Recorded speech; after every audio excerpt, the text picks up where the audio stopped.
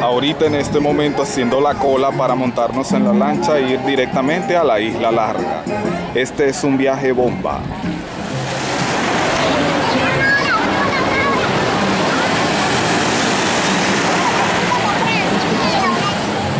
Es Quisandal. Miren la tremenda cola que hay que hacer para llegar a la isla larga.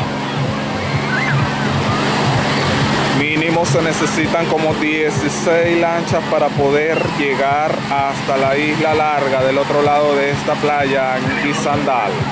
Esto es un viaje bomba por Quisandal 2015.